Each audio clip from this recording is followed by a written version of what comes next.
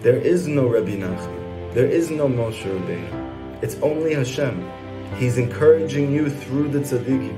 The tzaddikim have went to the furthest, darkest places to lift us out because that's Hashem himself within them. So if you want to know where's my encouragement coming from, where should I really see that Hashem is with me, that He hasn't given up on me, that He cares about me, that He's constantly pulling for me?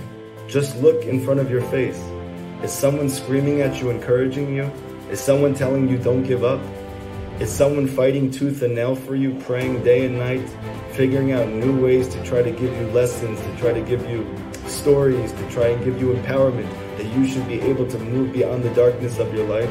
That person doesn't exist in front of you. It's Hashem.